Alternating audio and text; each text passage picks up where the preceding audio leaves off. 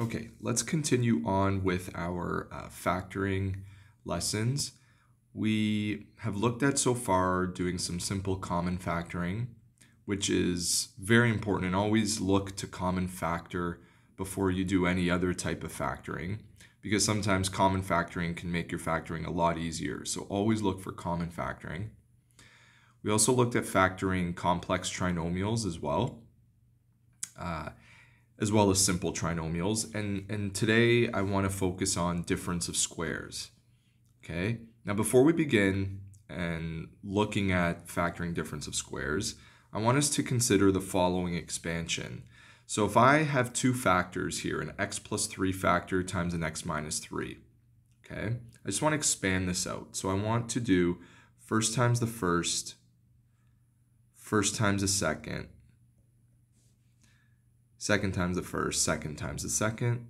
I want us to look at what this ends up looking like when we have two separate factors that look identical besides the fact that one is being added and the other is being subtracted. What ends up happening is you end up having this situation here where you have minus 3x plus 3x, which simply, they end up canceling each other out. You end up with 0x. So you end up with the following equation in standard form or expression in standard form. Okay, so if in the beginning we were in factored form, okay, you can see the two different factors there. And by expanding it out, we moved into standard form. And you can see that there's only two terms in this standard form. Okay, um, there's not three terms with what you know with what we're familiar with when we're factoring quadratics. Let's look again at the following. You can see it's going to happen again.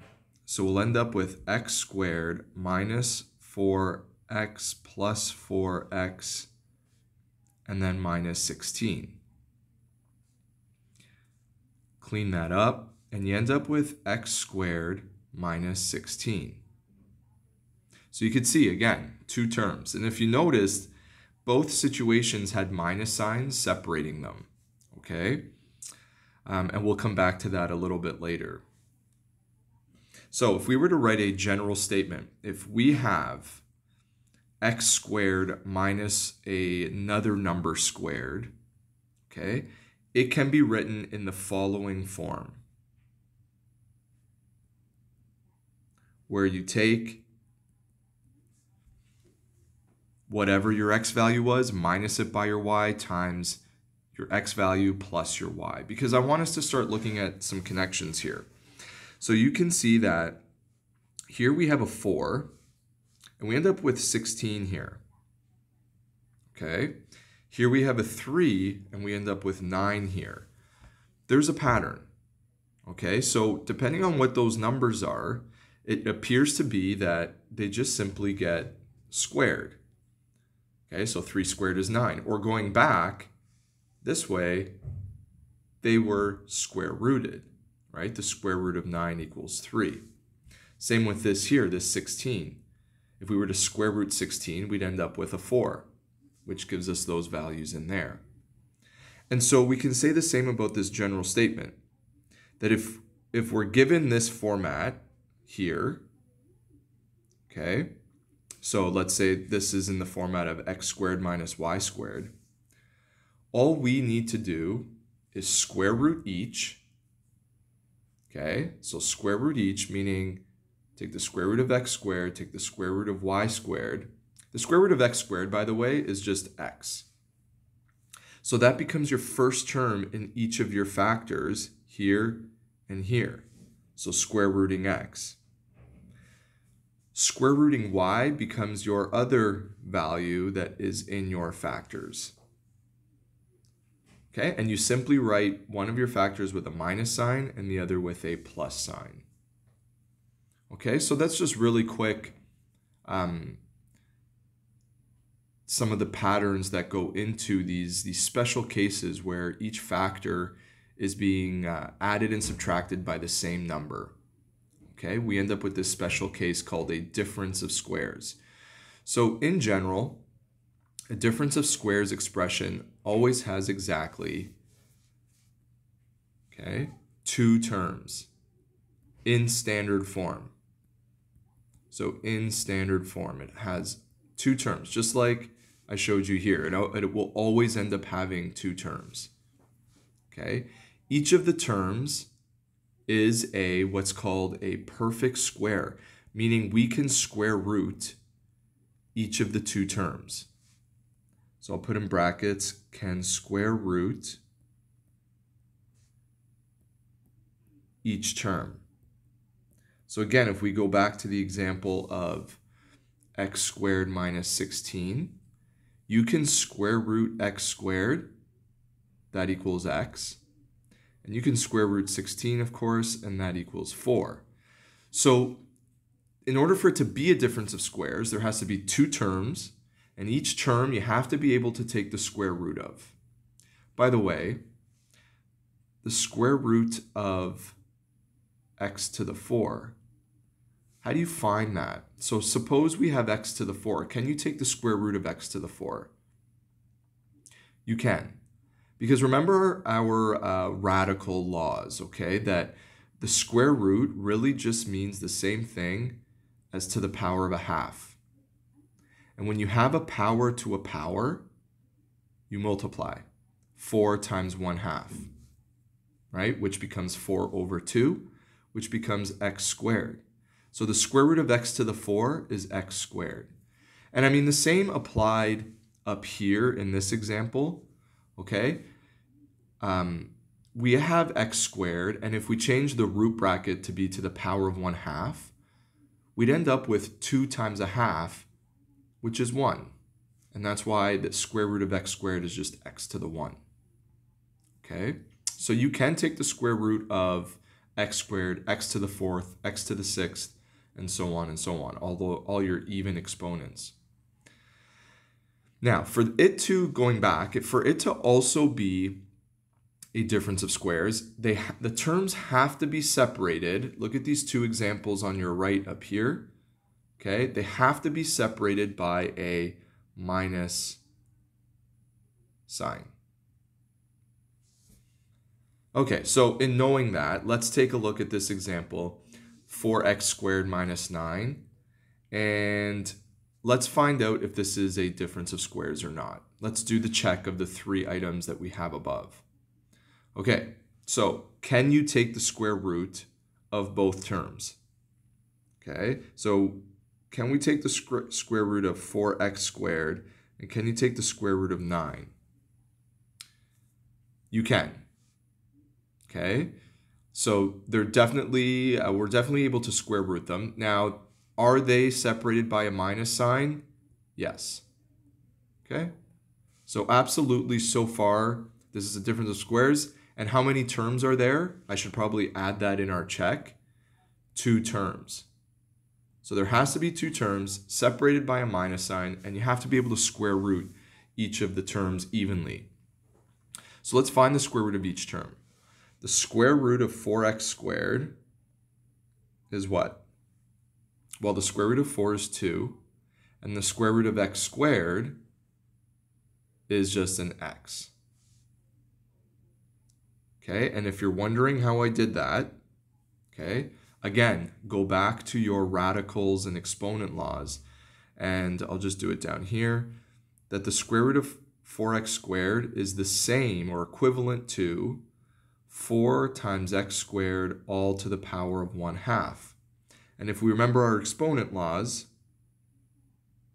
okay, then you would distribute 2 times a half and then also distribute the one half to have uh, to be raised um, above the 4 as well. So 4 to the power of a half is just the square root of 4, which is 2.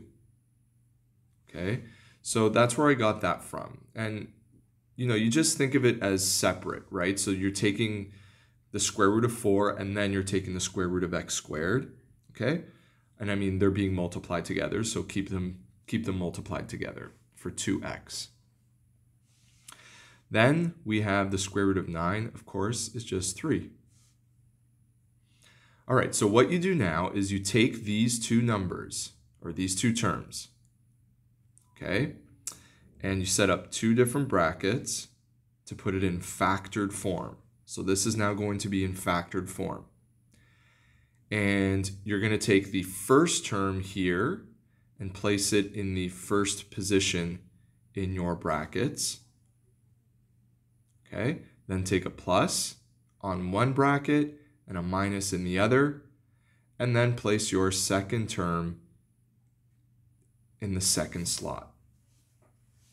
Okay, how do you know you did this correctly? There's your factored form, so we should write here, factored form. And how do you know you did this correctly? Well, I'm going to show you if we expand this back out, we should get back to the original standard form equation. So let's expand it back out. Okay, so 2x times 2x is 4x squared. Then 2x times negative 3 is negative 6x. Then positive 3 times 2x is positive 6x. And positive 3 times negative 3 is negative 9. Now you can see what's going to happen to these two middle terms. They're going to um, equal 0, so you don't need to, of course, show that 0. And you end up with 4x squared minus 9, which, of course, is our original equation. Okay, that's how you know you did this correctly. So let's go through now some examples. Okay, starting with the easiest example. Okay, so do your check.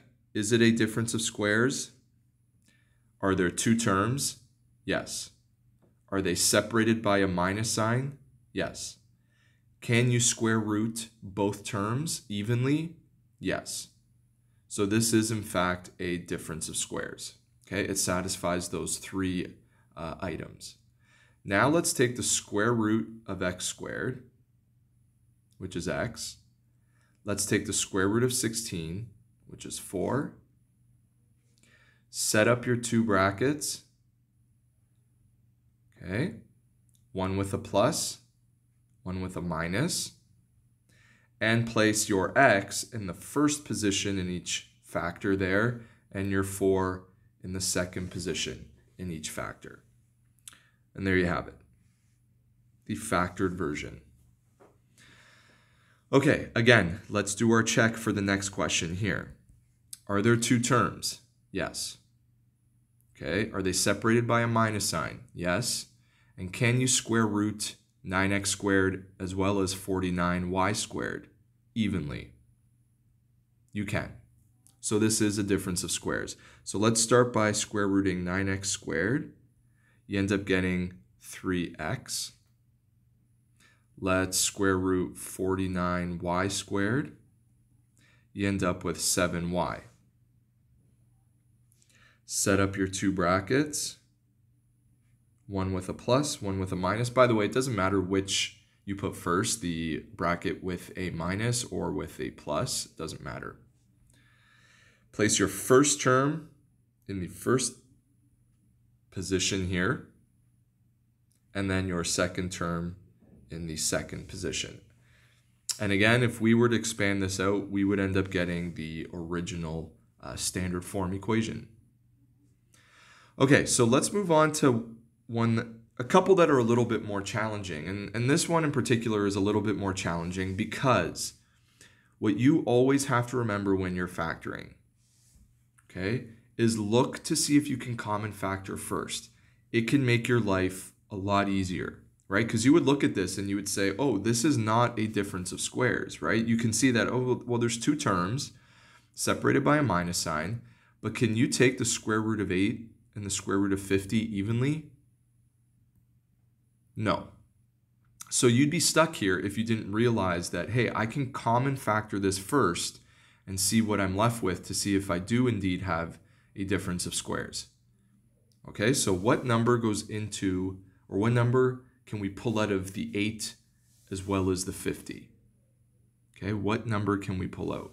So, I mean, let's start with the biggest possible one. Can we, can we pull out an 8? No.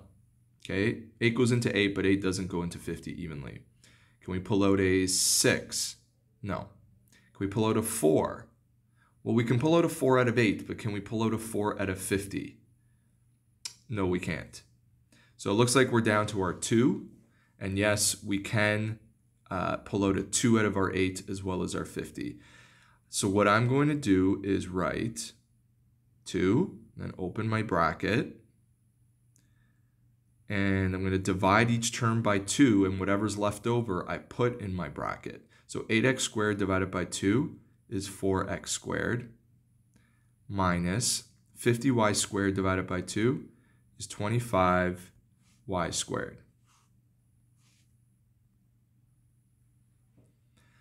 Now you can see that what we have left over is we actually do have a difference of squares after we common factored out a 2, right? Because I can square root 4 and 25.